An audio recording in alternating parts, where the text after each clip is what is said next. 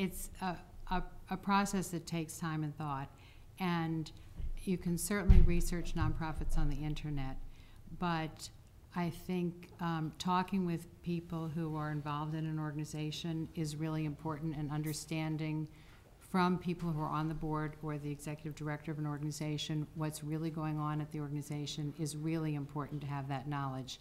Um, I'm afraid I know too many stories of people who found organizations on the internet and wind up in their first board meeting saying, oh my gosh, this isn't what I expected. And so I think understanding what the dynamics are, what the issues are that the organization is dealing with, certainly understanding the revenue model, um, what the board and the organization are aspiring to be and to accomplish are important, what their expectations are. Um, so it is a process of sort of research and discovery.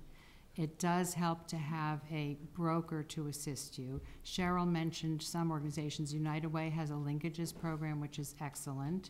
Um, Courtney found ERTA through Robin Robin Hood. Um, Arts and Business Council has a program.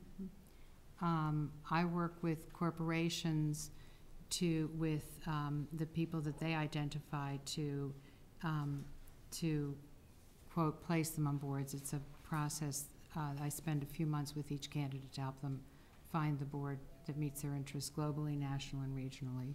Um, and I think those are most of the um, those are most of the programs where there's a, a broker that's beyond just internet research. But and I would I would encourage you in in all of your paths and journeys to talk to people wherever you go um, as you meet them about where are they involved because it's often through your own personal networks that you're going to learn about organizations and boards and that way you also hear what's going on at the organizations and I, I think you might be surprised to hear how many people are involved and hear wonderful stories and learn of and find some amazing opportunities.